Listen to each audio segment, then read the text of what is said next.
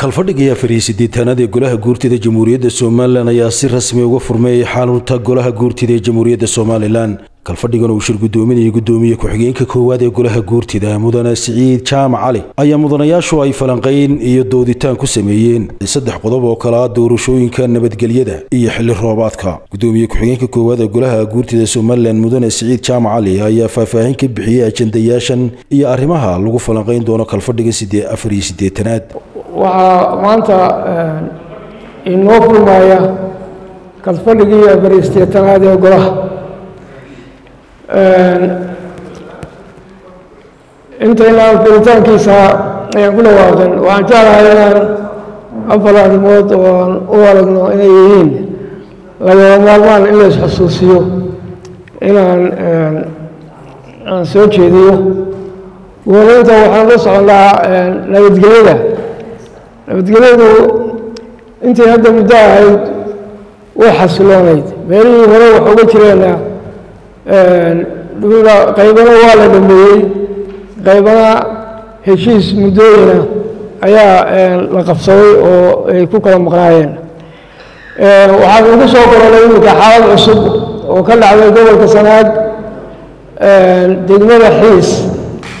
Halkaasoo iminka dhibaatooyin ay ka jiraan dhaawacyo iyo dhimashooyinna ay ka dhasheen iska horimaadkii laba qaybood oo ka mid ah isla gobolka ka dhex dhacay.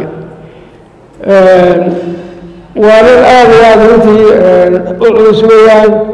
Welina waxaa sida wararku ugu imanayaan waxaa la sheegayaa in ay dadkii soo fadhiyaan wax gurmada oo hadda dee gobolka uga tegey laga yaabaa inay balasaabka iyo adigu dee askariya waxaas ay ka tageen.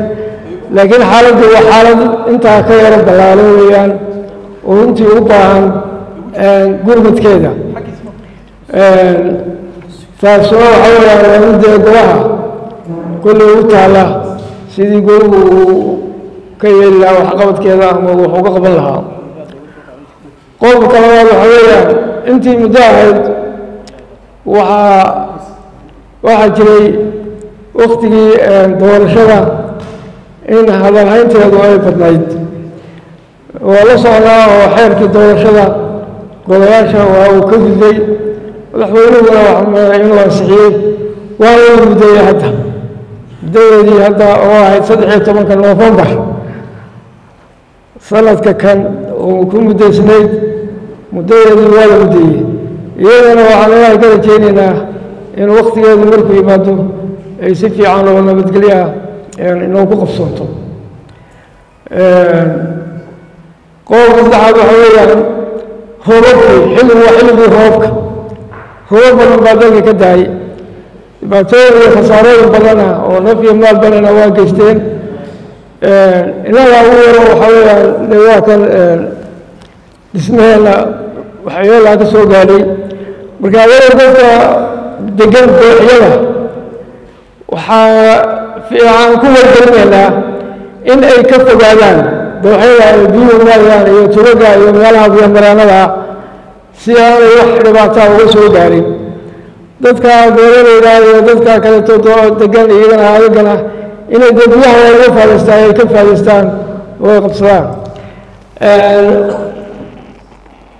mudanayaal ilaahay waxaan rajaynaynaa kalfadhiga kan inuu kalfadhi nabadgelyadiisa wata oo nabadgelyo iyo maamale uu inoogu dhammaado uu inoogu furmo. Kalfadhigii afariyo sideetanaad ee golaha. Maanta oo ay bishu tahay toddobiyo labaatan maalin sabtiga bisha may uu inoo furaya